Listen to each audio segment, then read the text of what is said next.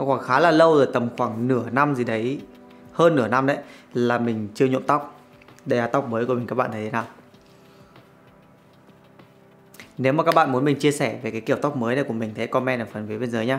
Còn hôm nay ấy, hôm nay mình sẽ không nói về tóc. Hôm nay mình sẽ chia sẻ cho các bạn 6 tip 6 cái style tip để làm thế nào nổi bật hơn, làm thế nào mà để stand out. Ok, sẵn sàng chưa? Bắt đầu thôi. Intro.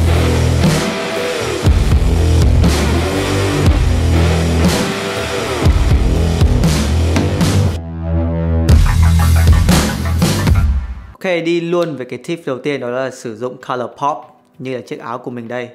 Thì tất nhiên là mình rất là thích cái kiểu gọi là monochromatic look của mình, cái kiểu đen trắng ấy, nó rất là clean, rất là sạch sẽ. Nhưng để nổi bật thì các bạn phải sử dụng color pop. Và khi các bạn nổi bật, các bạn sử dụng color pop thì các bạn sẽ gây ấn tượng cho người khác. Các bạn sẽ trở nên kiểu memorable, các bạn trở nên đáng nhớ hơn so với người mà chọn cách phối đồ với màu trung tính bình thường. Thì color pop nó cũng không nhất thiết là phải neon, rồi nó không nhất thiết phải cực kỳ rực rỡ, chói mắt như là full cây màu hồng hay là full cây màu neon nhìn như thế thì theo bản thân của mình là nó phản ngược lại tác dụng mà làm cho cái người đối diện xem cảm thấy tức mắt. Còn sử dụng color pop đối với mình ấy nó chỉ là sử dụng như một cái piece thôi. Có thể là chiếc áo top trên này của bạn có thể là đôi giày có thể là chiếc quần hoặc là có thể là cái third piece layer. Đối với cá nhân của mình thì khi mà chọn lựa một cái outfit thì mình tối đa ấy, là mình chỉ sử dụng hai cái item mà nó có cái màu pop thôi, chứ mình không muốn kiểu giống như một cái con tắc kè hoa đi ra ngoài đường. Vậy nên là cái việc sử dụng color pop nó rất hiệu quả để tạo nên một sự nổi bật, nhưng nó cũng sẽ là con dao hai lưỡi. Vậy nên là các bạn cần phải phối đồ một cách hài hòa và đừng có chối mắt quá. Ok, đi đến tip thứ hai thì đó chính là các bạn cần phải đầu tư, invest vào những cái đồ gọi là signature piece. Signature piece là gì? Signature piece là những đồ mà nó gắn liền với bản thân của các bạn và nó thể hiện ra bạn là ai và tính cách của bạn như thế nào. Ví dụ như thế này nhá, các bạn có biết cái ông short bay không? Cái ông mà hay uh, rắc muối ấy. Đấy thì cái signature piece của ông ấy đó chính là một chiếc kính dâm tròn và trên tay của ông ấy thì luôn luôn đeo một chiếc đồng hồ Patek Philippe. Thì cái lúc của cái ông đấy, nó là signature của ông. Và mặc dù ông đi đâu, ông phối đồ như thế nào, thì cái outfit của ông ấy đều xoay quanh những cái thứ gọi là signature piece. Và đối với mình ấy, những item như vậy, nó rất đáng để mà các bạn đầu tư. Có thể các bạn là một người yêu thích đồng hồ. Các bạn muốn thể hiện ra mình là một người kiểu thành đạt, đứng đắn, thì đầu tư vào một chiếc đồng hồ rất là xứng đáng. Hoặc là nếu các bạn theo một cái phong cách nó hơi grunge, nó hơi bụi bặm một chút, thì một chiếc áo denim jacket thật sự chất lượng.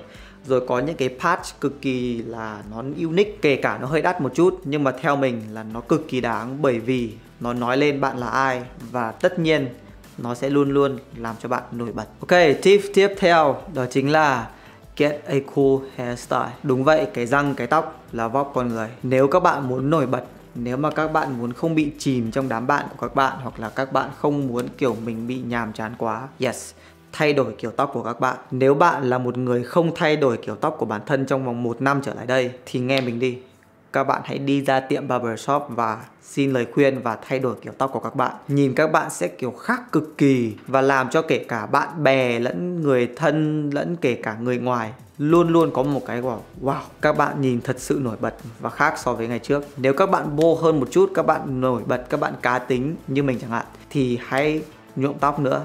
Và nếu các bạn thêm một chút nữa thì các bạn hãy phẩy like. Hoàn toàn là ok luôn. Nhưng nhưng những cái này nó đều phải có giới hạn. Bởi vì những cái thứ này nó luôn luôn có hai mặt. Một là nó sẽ làm cho các bạn cực kỳ cực kỳ nổi bật. Hoặc là hai, nó sẽ làm cho các bạn trở nên cực kỳ chói mắt. Và để có được một cái kiểu tóc khô thì thứ nhất, các bạn phải đi ra barbershop các bạn phải tìm hiểu và đặt sự tin tưởng vào cái người mà sẽ xử lý cái đầu của bạn. Và cái thứ hai nữa là các bạn cần phải tìm hiểu xem là shape, cái khuôn mặt của các bạn là thuộc vào dạng gì và nên để kiểu tóc nào cho nó phù hợp. Và tiếp theo, cái này là một cái secret mà mình sẽ bật mí cho các bạn khi mà nhuộm tóc.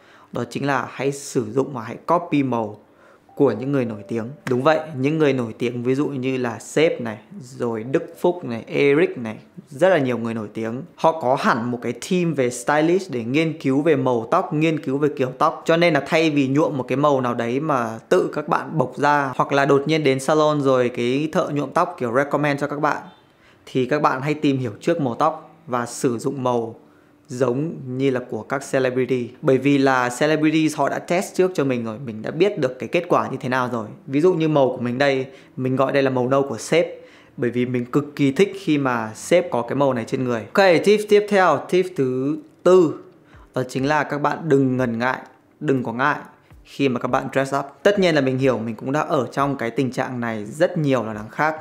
Khi mà tất cả các bạn của các bạn này rồi mọi người xung quanh, ai cũng kiểu mặc đồ casual, ai cũng kiểu, gọi là, street style các thứ. Và tất nhiên là bạn không dám dress up. Bởi vì sao? Khi mà đột nhiên bạn dress up, bạn mặc một chiếc áo blazer vào thì bạn sẽ bị, ôi, chê chê, xong rồi mọi người sẽ kiểu trêu các bạn các thứ các thứ thì sẽ làm cho các bạn bị ngại và các bạn đột nhiên cảm thấy như mình bị khác lạ. Nhưng mà các bạn tin mình đi, tự tin lên, đừng ngại khi mà dress up. Hãy dress up kiểu hai tuần một lần hoặc một tuần một lần và các bạn sẽ thấy là cái đám bạn sẽ bắt đầu làm như bạn đấy bởi vì cái mindset của con người khi nào cũng muốn là đi theo đám đông, khi nào cũng muốn là các bạn của mình thế này, cho nên mình phải thế đấy. Chứ không dám, kiểu, phá vỡ đi cái quy tắc hay là phá vỡ đi một cái gì đấy, kiểu, thực sự nó độc đáo. Nó khác so với cái việc mà các bạn, kiểu, play hard. Nếu mà các bạn, kiểu, cùng là street style hay là ăn mặc bình thường thôi, nhưng mà các bạn, kiểu, yêu thích giày, đúng không? Thì rất là cool, rất là ngầu. Nếu bạn có một đôi Air Jordan 1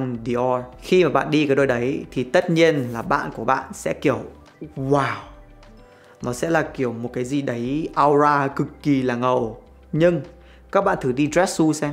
Các bạn sẽ bị chê, đúng không? Nhưng theo mình ấy, thì cái dress shoes với một bộ suit hoặc là với một chiếc quần chino đứng đắn cùng với một chiếc áo blazer, nó ngầu hơn và nó kiểu đứng đắn hơn một nghìn lần so với cái việc bạn đi một đôi giày Jordan 1 Dior cộng với một chiếc quần thụt. Mình không có ý gì đả động với cái phong cách street style vì trước mình cũng là một người cực kỳ đam mê street style, nhưng ý mình nói ở đây, đó chính là các bạn đừng ngần ngại khi dress up khi mà mặc lên những cái bộ đồ mà nó mang tính chất lịch thiệp một chút.